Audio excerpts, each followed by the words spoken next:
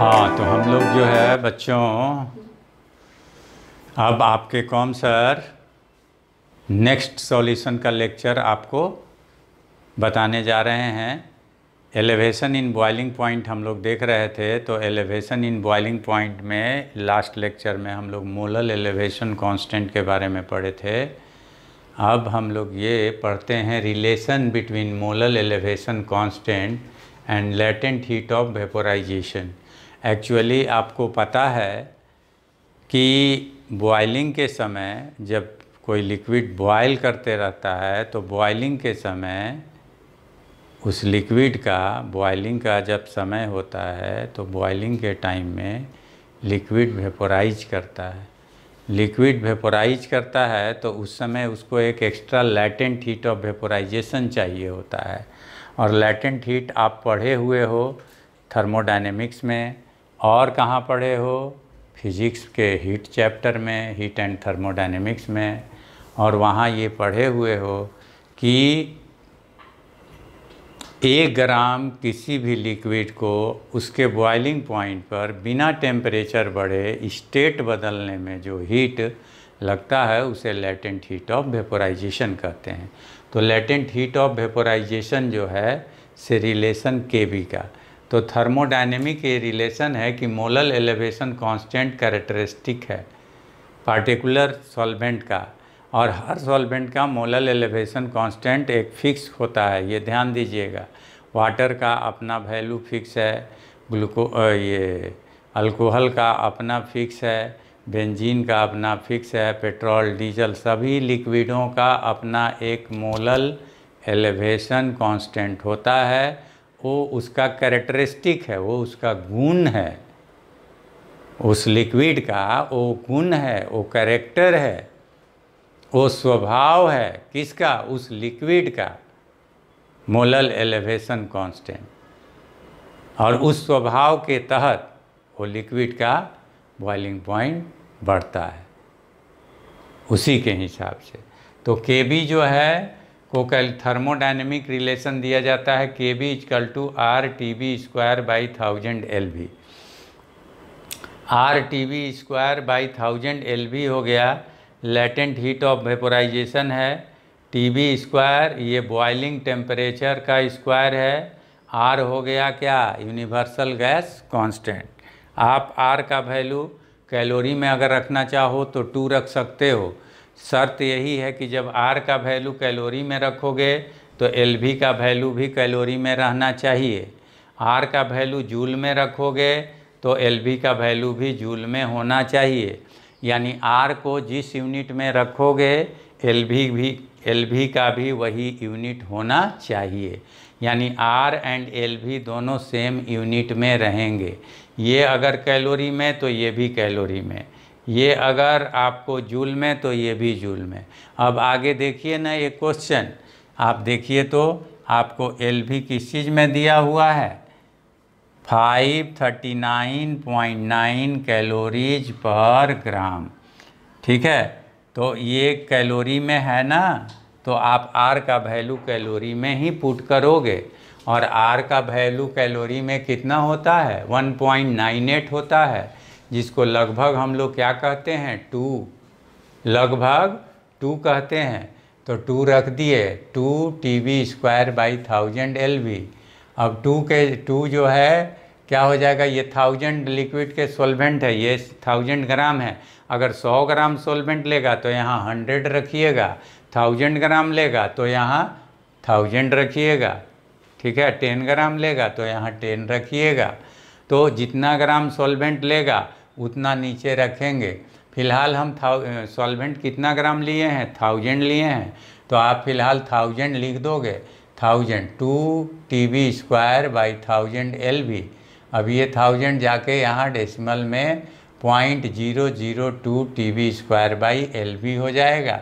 अब T B जो होगा वो बॉइलिंग टेम्परेचर दीजिएगा उस लिक्विड का जो कैलविन में होना चाहिए जैसे वाटर का केस है तो वाटर का बॉइलिंग पॉइंट किस में रखिएगा कैलविन में रखिएगा किस में कैलविन में रखिएगा कैलविन में वाटर का बॉइलिंग पॉइंट कितना होगा 373 कैलविन 100 डिग्री सी होता है ना तो 100 plus two seventy three is equal to three seventy three हो जाएगा ठीक है जैसे एक ये क्वेश्चन है वन मोल आपका सॉल्यूट है तो मोलल एलिवेशन कांस्टेंट हो गया थाउजेंड ग्राम वाटर है तो उसका के बी निकल जाएगा K B is equal to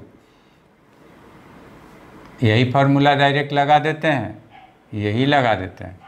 point zero zero two T B के जगह क्या रखिएगा वाटर का बॉइलिंग टेम्परेचर कैलविन में three three three hundred hundred seventy seventy three kelvin का square divided by latent heat of vaporisation 539.9 इसको calculate कीजिएगा ये आपका आ जाएगा point five one four K B का वैल्यू आ गया अब जो है ये क्वेश्चन है R C M forty six number question है आर सी एम का फोर्टी सिक्स नंबर क्वेश्चन है ये तो इस तरह आप जो है के बी का वैल्यू निकाल लिए point zero zero two into three hundred seventy three का square by five thirty nine point nine इस तरह आपका निकल गया के बी का वैल्यू किसका ये के बी है भाई ये वाटर का के वी है तो वाटर का के वी ये है ये कांस्टेंट होता है आप तो जानते ही हैं वाटर का क्वालिटी है लगभग इसका वैल्यू बताया जाता है पॉइंट फाइव टू ठीक है ना तो नियर अबाउट आ ही गया है उसके ठीक है ये वैल्यू कांस्टेंट होता है अगर आपको याद है तो अच्छा है वैसे क्वेश्चन सब में दिया रहता है कोई ये वैल्यू और उसका काम हो जाता है ठीक तो इस तरह इसका प्रॉब्लम आप बनाते हैं ठीक है और देखिए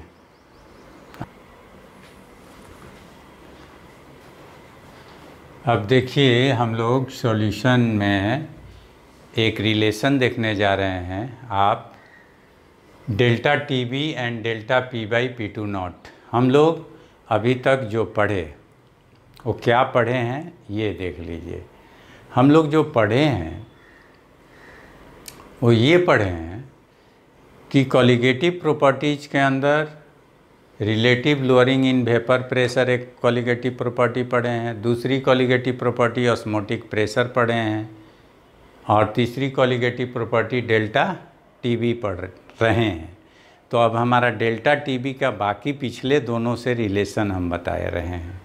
डेल्टा टीबी का delta P by P two naught से रिलेशन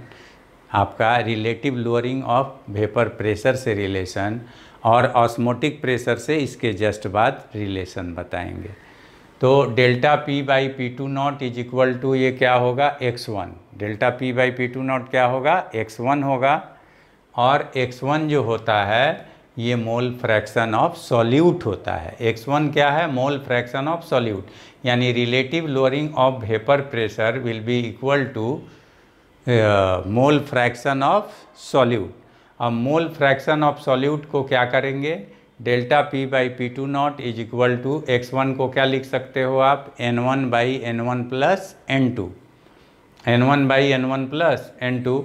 यानी कि मोल फ्रैक्शन ऑफ सॉल्यूट अब आप चूँकि सॉल्यूशन आपका ये सारी क्वालिगेटिव प्रॉपर्टी हम लोग तब पढ़ते हैं जबकि solution will be very very dilute तो सॉल्यूशन जब वेरी वेरी डाइल्यूट होगा तो वैसे केस में N one will be very very very less than N two होगा N one very very very less than N two आएगा और ऐसे केस में जब एन वन बहुत बहुत छोटा है किस से एन टू से तो N1 को जब N2 में जोड़ेंगे तो बड़े में छोटा जोड़ते समय क्या कर दिया जाता है छोटे को नेग्लेक्ट कर दिया जाता है मान लीजिए मेरा वज़न अभी 50 के जी है मेरा वेट कितना है 50 के जी अब मान लीजिए मेरे माथे पर से एक बाल झड़ गया एज्यूम कीजिए कि पक गया है वैसे अभी हमारा बाल काला है ठीक है ना लेकिन एज्यूम कीजिए कि एक पक गया ठीक है तो एक पक गया और वो बाल झड़ गया मान लीजिए वो गिर गया अब बताइए मेरा वज़न कितना है मेरा मांस कितना है बताइए आप ही आप तो बता सकते हो एकदम ठीक तो कहोगे कि सर बड़ बढ़िया मजाक करते हैं ठीक है आपका वज़न 50 जी था एक बाल आपका टूट के गिर गया तो आपका वज़न कितना रह गया यही ना तो आपका वज़न 50 जी रह गया तो हम कहे कैसे क्या मेरे एक बाल का वज़न जीरो है बोलिए तो कहिएगा कि नहीं जीरो तो नहीं है लेकिन आपके शरीर के 50 के के मास के कंपेरिजन में कंपेरिजन में तुलना में तुलना जब करेंगे सर तब वो जीरो हो जाएगा तो जब कंपेरिजन होगा बड़े के साथ छोटे का तो छोटे को क्या कर दिया जाता है जीरो कर दिया जाता है जैसे मान लीजिए कि समुंदर में पानी है आप अपने घर से एक बाल्टी पानी लेके जाइए एक बाल्टी एकदम लबालब भर के हाँ एकदम पूरा लबालब भर के ले जाइएगा और ले जाके समुंदर में डाल दीजिएगा और तब बोलिए समुंदर का लेवल इतना बढ़ जाएगा इतना नहीं तो क्या इतना नहीं तो कहिएगा कि नहीं सर मजाक कर रहे हैं आप समुंदर का लेवल नहीं बढ़ेगा इतने बड़े समुंदर में एक बाल्टी पानी डालने से क्या होगा ऊँट के मुँह में जीरा तो वही बात है बाबू N1 बहुत बड़े N2 में जब ऐड होगा और सॉल्यूशन अगर वेरी वेरी डाइल्यूट है तो N1 नेग्लेक्ट हो जाएगा तो delta P by P two naught is equal to N one by N two अब delta P by P two naught N one by N two के बराबर हो गया तो अब कोशिश ये कीजिए आप कि N one by N two हम ला दें N one by N two हम क्या कर दें ला दें कहाँ ला दें एलिवेशन इन बॉइलिंग पॉइंट के जो है फॉर्मूला में एलिवेशन इन बॉइलिंग पॉइंट के फार्मूला में N one by N two ला दें यानी elevation in boiling point delta T B is equal to K B W one by M one thousand by W two ये formula है हमारा इसको formula को N one by N two में change कीजिए N one by N two जैसे ही आपका आया तो वहाँ रख दीजिएगा delta P by P two naught a relation हो जाएगा सुन लीजिए इसमें जैसे N one by N two आया N one by N two के जगह रखोगे delta P by P two naught और delta P by P two naught से डेल्टा टी बी का क्या मिल जाएगा रिलेशन क्योंकि here is delta T B already here is delta T B already तो here is delta T B already तो delta T B पहले से ही यहाँ उपस्थित है हाजिर है प्रेजेंट है तो वैसी स्थिति में वैसी स्थिति में आप क्या करेंगे कि यहाँ आप delta P by P two naught ला देंगे बस वहाँ डेल्टा टी भी हैं ही यहाँ N one by N two ला दीजिएगा N one by N two के जगह क्या लिख दीजिएगा delta P by P two naught बस रिलेशन हो जाएगा तो अब N one by N two लाने के लिए आप प्रयास कीजिए तो W one by M one को आप क्या लिख सकते हैं बोलिए W one by M one को आप क्या लिख सकते हैं एन वन चलिए लिख दीजिए एन वन लिख दिया एन वन ठीक और यहाँ नीचे है W2 अगर W2 को M2 से डिवाइड कर दिया जाए अगर W2 को क्या किया जाए M2 से डिवाइड कर दिया जाए तो ये भी बन जाएगा आपका N2 अगर इसको M2 से डिवाइड कर देते हैं तो क्या बन जाएगा ये क्या बन जाएगा ये N2 बन जाएगा तो N2 से डिवाइड कीजिएगा तो M2 से मल्टीप्लाई भी करना पड़ेगा तो कर लीजिए अब इसको तो एन टू बन गया ना तो N one by N two आ गया ना अब N one by N two आ गया जिससे डिवाइड कीजिएगा उसी से मल्टीप्लाई करना पड़ता है आप जानते हैं मैथ में तो ये अब तो एन टू आ गया तो ये N one by N two आ गया अब N one by N two के जगह आप delta P by P two naught तो रख सकते हैं ना N one by N two के जगह delta P by P two naught और delta T B is equal to K B thousand by M two two delta P by P two naught if you are knowing this this then you can find out this if you know this and this then you can find out this yani if you know relative lowering of vapor pressure and molecular weight of solvent then you can find out elevation in boiling point okay so likewise now you are going to see another thing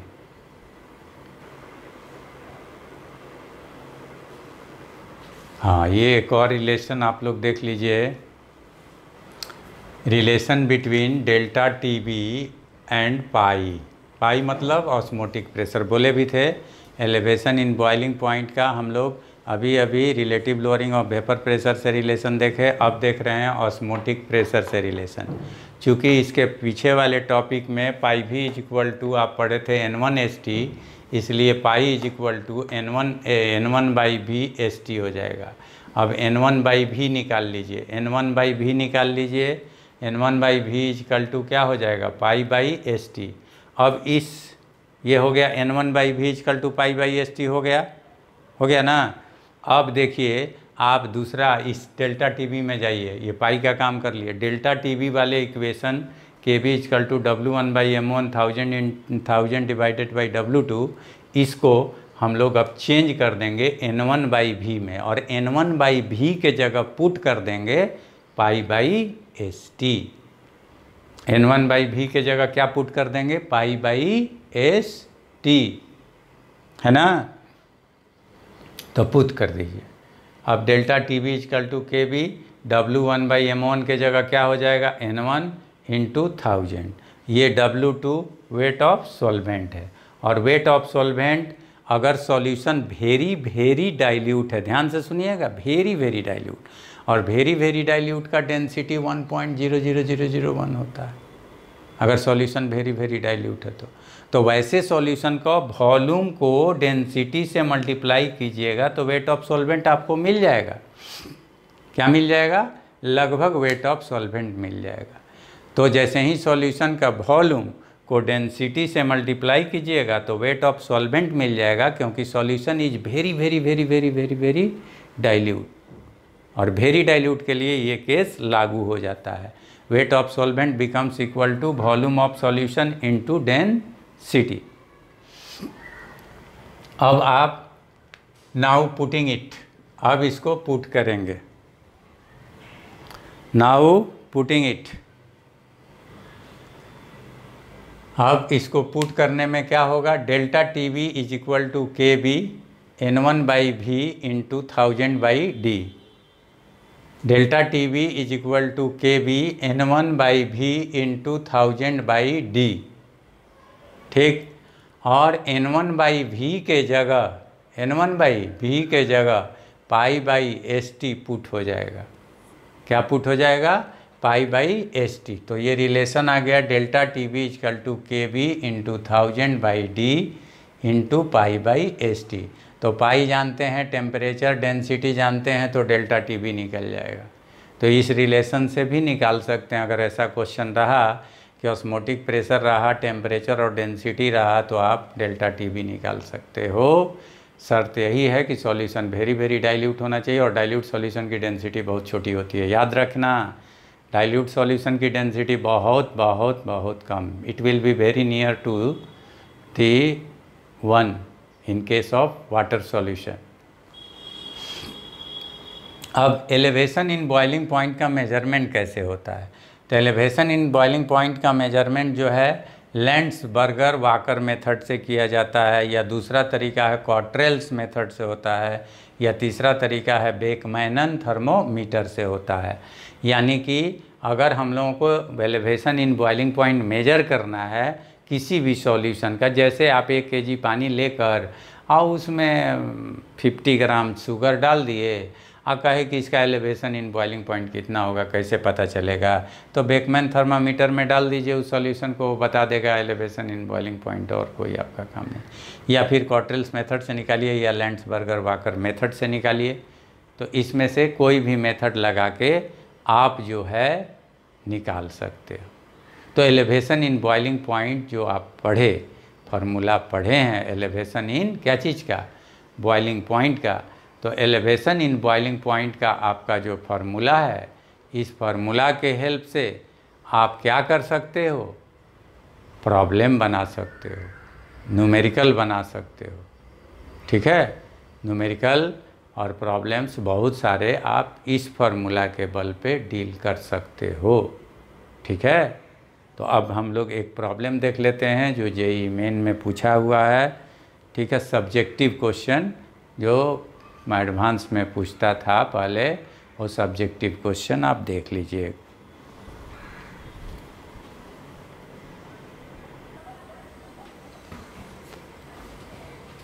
देखिए ये elevation in boiling point से related एक question है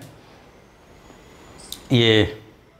2004 advance यानी कि main जब subjective question पूछता था उस समय ये क्वेश्चन पूछा गया था ठीक है आईआईटी में तो ये क्वेश्चन है क्या पूछ रहा है क्या कह रहा है तो ये क्वेश्चन है ये बेंजोइक एसिड है ये कौन सा एसिड है बेंजोइक एसिड इस एसिड को जो है अलग अलग दो सॉल्वेंट में डाला जा रहा है देखिए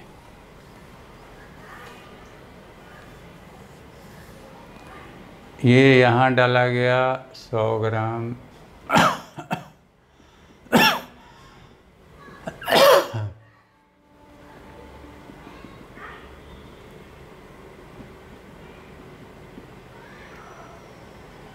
सौ ग्राम सॉल्वेंट सोलवेंट का नाम है acetone C H three C O C H three सौ ग्राम यहाँ सोलवेंट है ये है जिसका आपको डेल्टा टी बी दे दिया T B one point one seven and K B दे दिया वन पॉइंट सेवन ठीक है और दूसरा एक सॉल्यूशन है किसका बेंजीन का शायद benzene C six H six ठीक है ये इसमें भी W2 टू इसमें भी वज़न कितना है हंड्रेड ग्राम लेकिन इसका डेल्टा टी वी टू कितना है पॉइंट वन थ्री और के भी इसका है 2.6 2.6 ठीक है तो इस तरह से जो है ये दोनों की स्थितियाँ हैं ये दोनों की का कॉन्सेप्ट है इसका और इसका अब ये कहा जा रहा है कि इन दोनों में मोलिकुलर वेट निकालिए यानी इसमें निकालिए M one is equal to what और इसमें भी वही M one is equal to what वैसे तो दोनों में सेम ही चीज़ डाला जा रहा है डालने वाला सामान डलाने वाला सामान जो है वो C six H five C double O H इसमें भी वही चीज़ डला रहा है और इसमें भी वही चीज़ डला रहा है इसमें भी 1.22 ग्राम और इसमें भी 1.22 ग्राम बेंजोइक एसिड का इसमें 1.22 ग्राम बेंजोइक एसिड का इसमें भी 1.22 ग्राम तो दोनों में तो बेंजोइक एसिड सेम है उसका सेम ही अमाउंट डाला जा रहा है और दोनों का एलिवेशन इन बॉइलिंग पॉइंट और के का वैल्यू डिफरेंट है जिससे दोनों में मोलिकुलर वेट का क्या डिफरेंस आएगा तो आना तो नहीं चाहिए लेकिन अगर आएगा तो कुछ गड़बड़ है तो उसी गड़बड़ी के लिए कहता है कि find out molecular weight of this तो भैया इसका मोलिकुलर वेट तो आप जोड़ के निकाल सकते हैं 122 आता है ऐड कीजिए 122 आता है और उतना ही आना चाहिए लेकिन और अब दोनों में सेम ही आना चाहिए लेकिन अगर सेम नहीं आता है तो कुछ गड़बड़ है तो इन बोथ दी केसेज कहता है कि find out molecular weight of benzoic acid in both the cases दोनों केस में अलग अलग मोलिकुलर वेट निकालिए जब निकल जाए तो इंटरप्रेट द रिजल्ट रिजल्ट को इंटरप्रेट कीजिए दोनों में अगर सेम आ गया तो भी इंटरप्रेट कीजिए या दोनों में डिफरेंट आ गया तब भी इंटरप्रेट कीजिए तो चलिए केस वन में देखा जाए केस वन में delta T B one is equal to K B W one by M one into thousand by W two K B का वैल्यू कितना है के वी पहला केस में पॉइंट वन सेवन नहीं one point seven K B का value है one point seven into W one है one point two two M one आपको निकालना है आ इंटू ये हंड्रेड है और ये थाउजेंड है ठीक तो फाइनली ये हो गया डेल्टा टी बी का वैल्यू पुट कर दीजिए यहाँ कितना डेल्टा टी बी है पॉइंट वन सेवन ये वन पॉइंट सेवन ये दो जीरो कटाइए कम से कम 12.2 बाई एम वन अब M one is equal to आपका आ गया कितना आ गया वन पॉइंट ये इससे कटा दीजिए ठीक है तो ये कितना आ जाएगा ये लगभग आ जाएगा दस और तब M one is equal to one twenty two आगे M one is equal to कितना आ गया 122 ट्वेंटी टू मोलिकुलर वेट इसमें दूसरा केस में पुट कर दीजिए दूसरे केस में जो है पुट कर दीजिए कितना दूसरे केस में आप पुट कर दीजिए डेल्टा टी का वैल्यू डेल्टा टी का वैल्यू पुट कीजिए डायरेक्ट ही बना लीजिए point one three is equal to two point six two one point two two into thousand भाई क्या चीज़ नीचे क्या होगा एम वन निकालना है और इंटू हंड्रेड ये दो जीरो कटाइए ये इससे कटेगा तो बीस आ जाएगा एक जीरो ले लेगा M one is equal to कितना आ गया टू फोर्टी फोर यहाँ एम वन आ गया 122 और यहाँ एम वन आ गया 244 इसका मतलब क्या है कि इस मोलिकुलर वेट का ये मोलिकुलर वेट डबल आ रहा है डबल आया ना तो डबल आना क्या शो कर रहा है क्या इंडिकेट कर रहा है कि इसमें जब ये डाला जा रहा है तो इसका मोलिकुलर वेट डबल हो जा रहा है इसमें जितना मोलिकुलर वेट है इसका डबल इसमें हो जा रहा है इसका मतलब डाइमराइज कर जा रहा है यानी कि C six H five C double O H जो है C six H five C O O H whole two हो जा रहा है डाइमर बन जा रहा है क्या बन जा रहा है डाइमर इसमें बन जा रहा है इसमें क्या बन जा रहा है डाइमर तो इसका मोलिकुलर वेट 122 इसका मोलिकुलर वेट 120 इसका मोलेकुलर वेट 122 तो इसका molecular weight one two forty four हो जाएगा तो in benzene acetone is dimerized क्या लिखिएगा in benzene acetone is dimerized in benzene aceto uh, in benzene sorry benzoic acid benzoic acid dimerized, whereas in acetone it is monomer.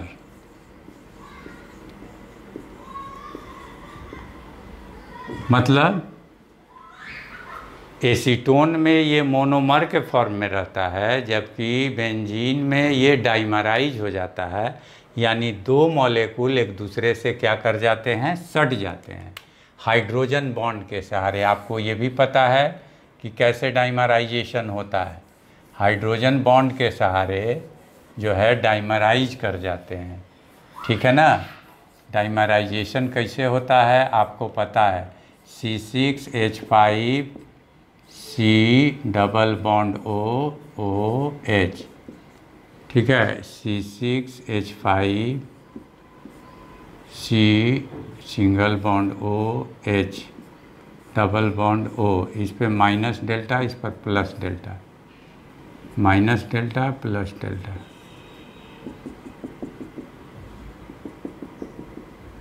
यही hydrogen bond के सहारे ये क्या हो गया एच बॉन्ड और यही हो गया डाइमराइज यही डाइमर है इसी को कहते हैं डाइमर ठीक है ना तो इस तरह से ये क्वेश्चन बना और ये आप समझे इस तरह क्वेश्चन बनाया जाता है ये हुआ हम लोगों का समाप्त एलिवेशन इन बॉइलिंग पॉइंट अब हम लोग लास्ट टॉपिक पढ़ेंगे और लास्ट जो है क्वालिगेटिव प्रॉपर्टी पढ़ेंगे depression in freezing point next lecture में ओके सी यू अगेन